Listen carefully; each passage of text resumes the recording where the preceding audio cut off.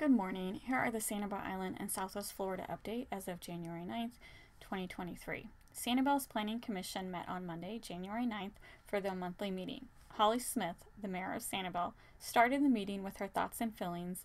The most noticeable to me was the mayor saying there has not been a caravan of traffic like the community expected. Remember, the main worry by residents who did not want the island to open was they were worried about traffic issues. They were worried lots of looky loos would flood the island and create traffic jams. That did not happen. So far, the only report of traffic issues was on the 5th when the causeway was down to one lane due to scheduled construction. The first issue discussed at the Planning Commission is the Coastal Creek development, which is the proposed building of six single family homes on the old wastewater processing site.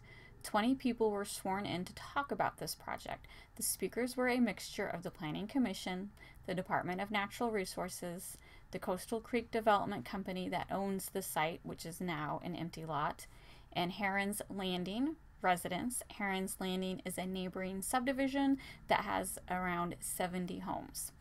The first issue that was mentioned was the Heron's Landing HOA representative tried to, tried to dispute the right of way deed.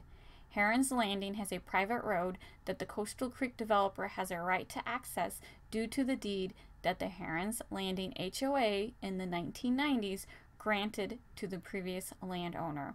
The right of way stays with the owner of the deed.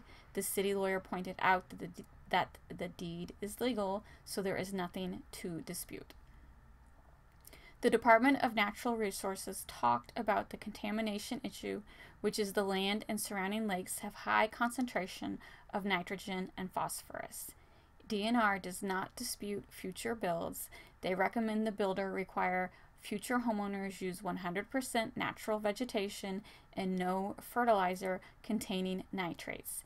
Any future soil tests will not change DNR's opinion. The high levels of heavy metals in the soil is not something that DNR would require separate remediation for.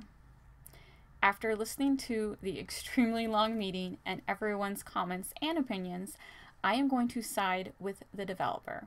The developer has been working on this project since 2017 and is going above and beyond to improve the polluted land. I believe him when he says he is going to make the property better than it is currently. The builder has been working on Sanibel for years. He has built over 70 houses on the island and he seems to have Sanibel's best interests at heart. After over four hours of comments and debate, the Sanibel Planning Commission voted 4 to 2 to pass the Coastal Creek development motion. Now that the motion has passed, it will be drafted into a, into a resolution and then reviewed at the next meeting. I believe at this point the resolution to be reviewed is just a formality and basically the developer can proceed with his building plans. Just a reminder, Fish of Sanibel Captiva is a nonprofit organization created to help everyone on the island. If you are a local in need of food assistance, remember Fish does have a food pantry open to all Sanibel residents. The food pantry received fresh produce donations this week, so if you need something, feel free to stop by their main office on Sanibel.